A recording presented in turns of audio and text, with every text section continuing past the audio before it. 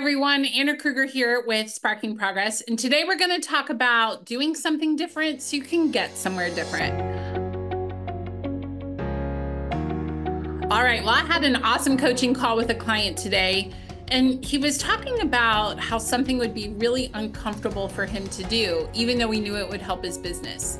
And it naturally led us into a conversation about how if you want to get somewhere different, you have to do something different, right? The same thing that we've always done is probably going to lead to the same types of results we've been getting. So it was a very inspiring conversation, and we got into the simplicity of even practicing.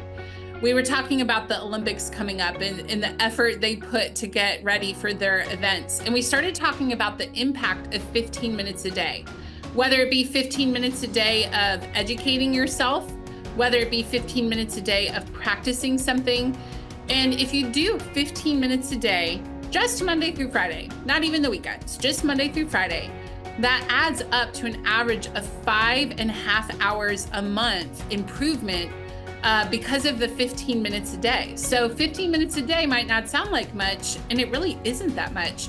But the compound effect of that adds up to five and a half hours extra practice, extra education, whatever you decide. And imagine compounding that over a year the difference that that would make in your career. That adds up to over 60 hours a year just from 15 minutes a day, only Monday through Friday.